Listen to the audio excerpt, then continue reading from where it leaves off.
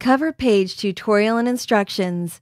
A cover page for a business plan provides information about the business, such as name of the company and contact information. On the cover page of the plug-in plan template, users will need to insert the name of their company in the yellow highlighted space. Also, on the cover page are some blue highlighted spaces where they will want to enter contact information. The template comes with spaces for name, email, and phone, and users are welcome to add address if they would like. Users may also want to paste their logo if they have one onto the cover page. There is a placeholder design here which can be kept or clicked on and deleted and replaced. Users of the template can add several different cover page designs by clicking on the Insert tab on the top of the Microsoft Word menu. Once there, to the far left will be the cover page option. Table of Contents Tutorial and Instructions The table of content for a business plan details what is in the plan, the sections, headings, and page numbers.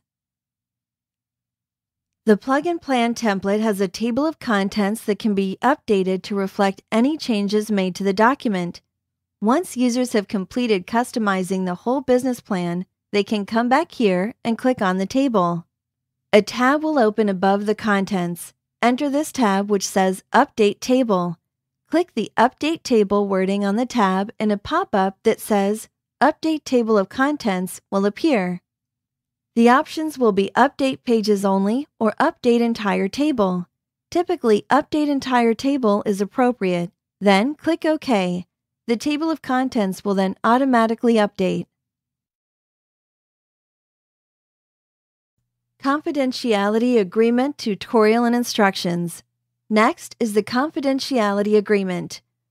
The template provides content to protect the company from unauthorized use of information obtained from the business plan.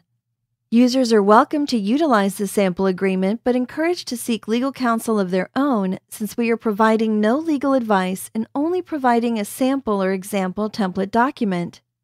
There are several yellow highlighted areas where users are required to enter the name of their company. There are blue highlighted spaces as well where information on the individual signing the agreement will be entered.